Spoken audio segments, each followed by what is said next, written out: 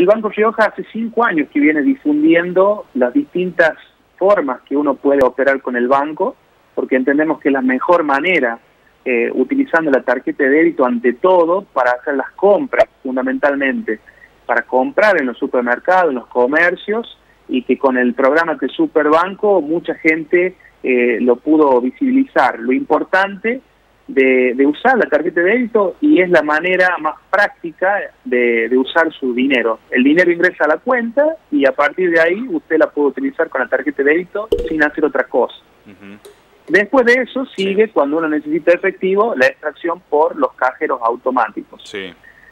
Todo esto nosotros con distintas campañas de promoción en los distintos segmentos lo venimos haciendo con promociones, con, con sorteos, eh, con el banco móvil por toda la provincia, porque entendimos que es la mejor manera. Pero nos pasó esta situación de suma urgencia donde a través del decreto se impide que todos los bancos de la Argentina, todos, no puedan abrir sus puertas a atender al público. Entonces, aparece ahora, nosotros estamos con los distintos canales de comunicación recepcionando eh, miles de llamados, miles de llamados diarios, como bien lo decís vos, y el tema número uno es cómo hago para cobrar mi sueldo si no tengo la tarjeta de débito. Entonces, pasa a ser un gran problema, pero ante todo nosotros tenemos que respetar el decreto este presidencial que protege la salud de todos, como y está pasando en las distintas modalidades, en todos los negocios, para moverse, para transportarse, nos cambiaron los hábitos y eso genera molestia.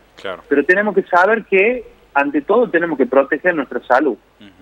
Para eso el Banco Rioja obviamente abrió, tenemos casi 15 personas permanentemente atendiendo los distintos canales, que si bien pueden tener alguna demora es por la cantidad de demanda de consultas. Entonces lo que pusimos a disposición ahora es eh, recepcionar todos los pedidos que nos comenten cuál es el problema que tiene, la mayoría están relacionados con la tarjeta de débito y le estamos pidiendo la tarjeta para que se la podamos enviar por correo a, la casa, ¿no? Y podamos proteger eh, y seguir con este protocolo sanitario.